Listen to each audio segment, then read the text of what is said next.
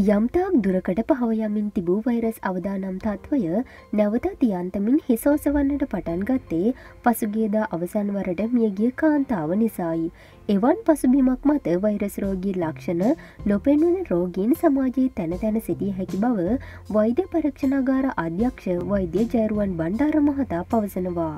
එමෙන්ම මෙම රෝගීන්ගෙන් සියට විස්සක් කිසිදු රෝගලක්ෂණයක් නොපෙන්වන අතර සියට හැටක් රෝගින් රෝගලක්ෂණ පෙන්වන්නේ ඉතා අවම මට්ටමින් බවත් පවසන වෛද්‍යවරයා සඳහන් කළේ එසේ උවත් මේ අයට ප්‍රබල රෝගවාහකයන් ලෙස කටයුතු කළ හැකි බවයි.